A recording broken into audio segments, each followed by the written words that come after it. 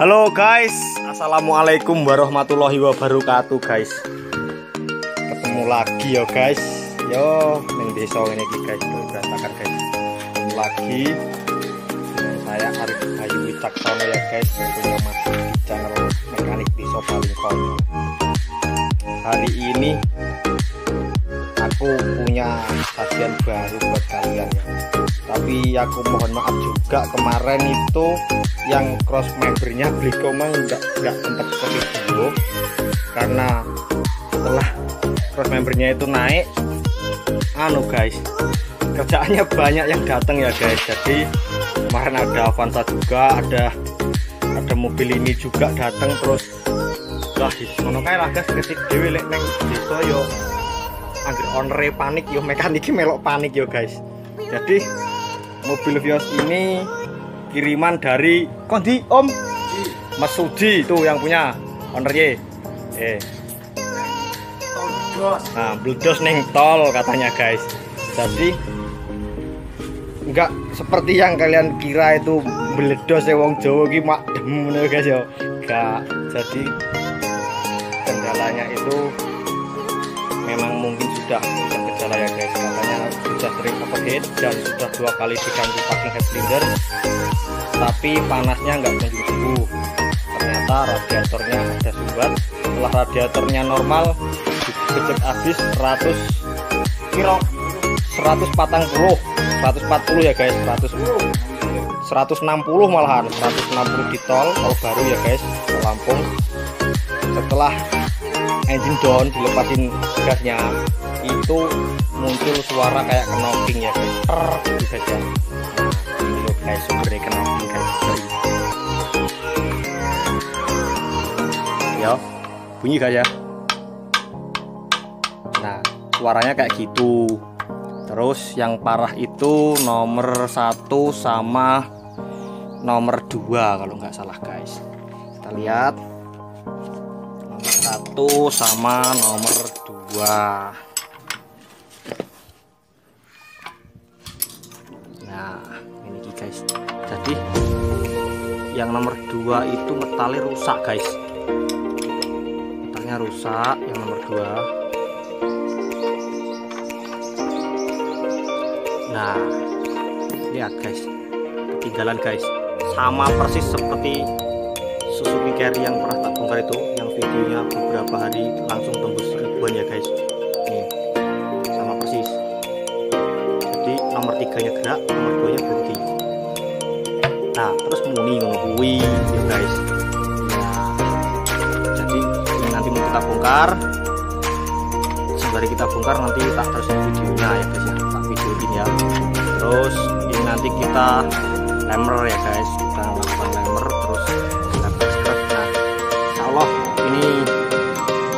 punya rencana ya guys. Nanti kalau pas di pengerjaan lemer atau slab asapnya tak, tak buatin video di sana dulu kan pernah tak buatin aku ngerjain lemer slab asap itu di bengkel Maruman Sigir Bandar Lampung ya guys.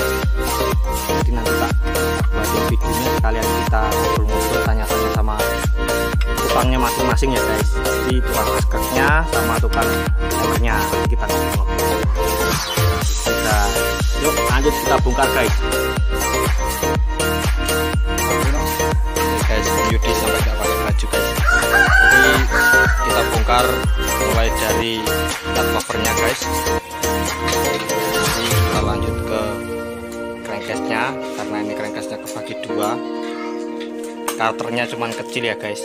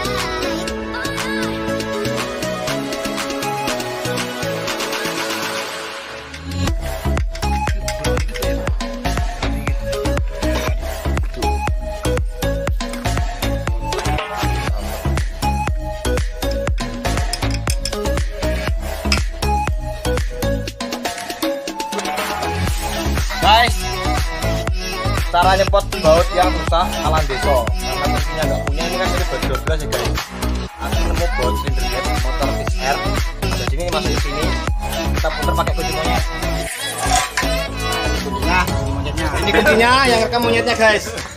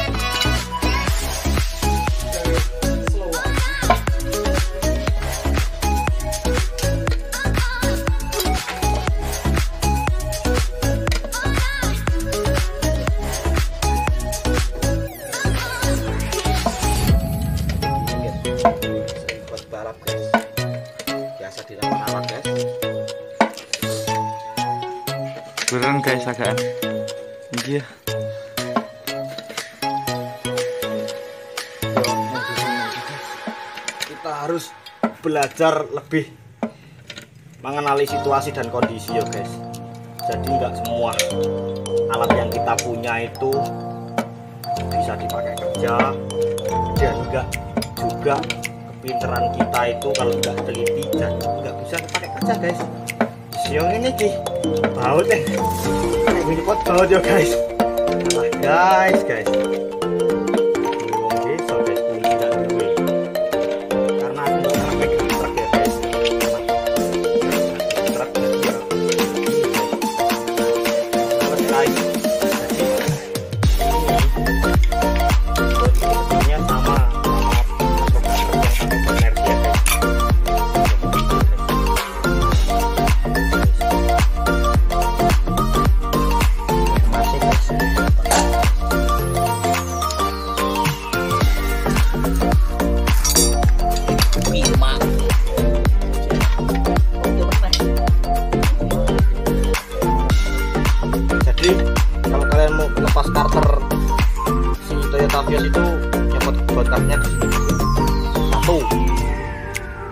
meskipun kalian udah ngelepas semua nggak bakal bisa dicopot ya guys.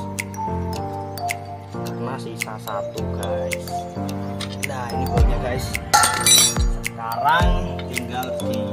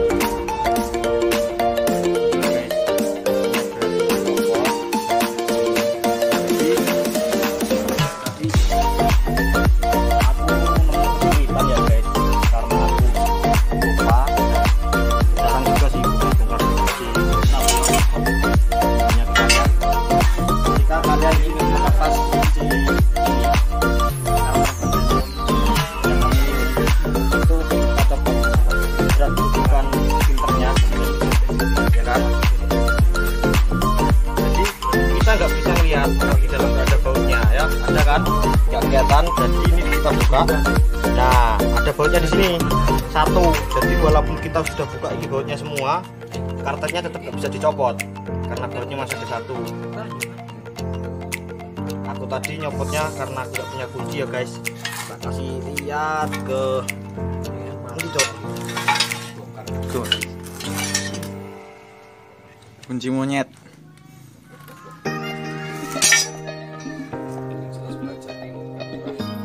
Ini guys, aku pakai baut cylinder head Yamaha Post One ya guys atau Fish Air. Jadi sebenarnya ini kunci L-nya mirip kunci L baut as roda belakang Mitsubishi cumplung ya guys. Nah, karena aku nggak pernah servis si itu mobil mobil sekelas itu, jadi nggak punya kuncinya.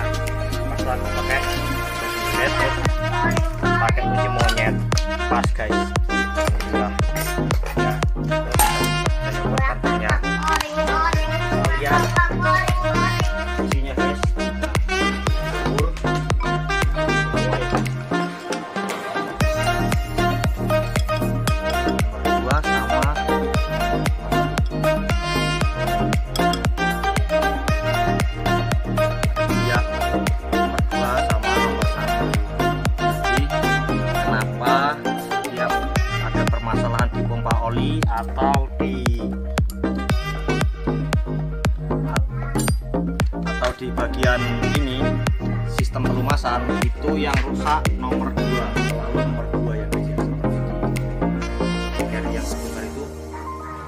jadi penyebabnya. Oli masuk itu kan dikirim lewat sini nih apa namanya dudukan metal yang tengah. Lalu dibagi. Dibagi. Terus ketika pembagiannya itu sudah penuh sisanya kan dikirim ke cylinder head. Nah ketika olinya itu naiknya kurang yang kekurangan pasti yang di nomor satu dan dua. Ya. Karena ini yang kurang pasti di nomor satu dan dua karena di belakang sini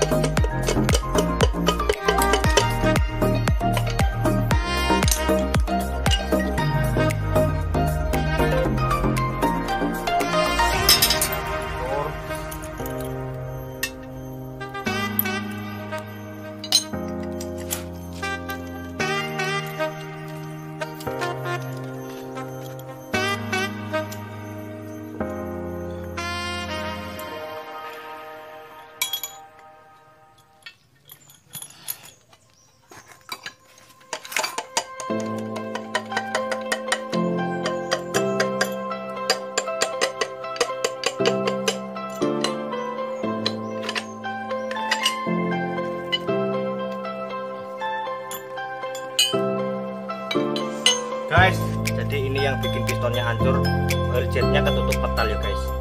Ya ini oil jet lubangnya di sini.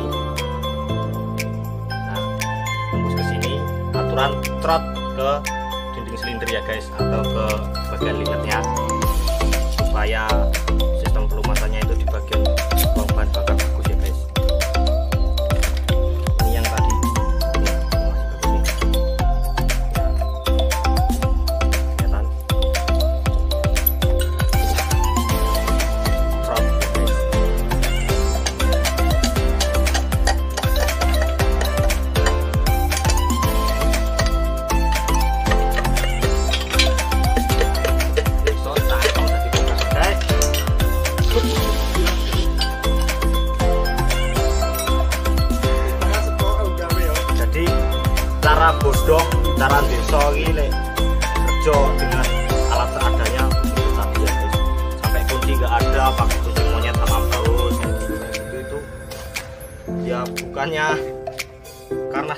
keseringan ini ya guys keseringan keterbatasan alat kerja bukan karena terlalu kreatif ya guys. Karena terlalu kreatif. Yo sebenarnya kebiasaan itu tergantung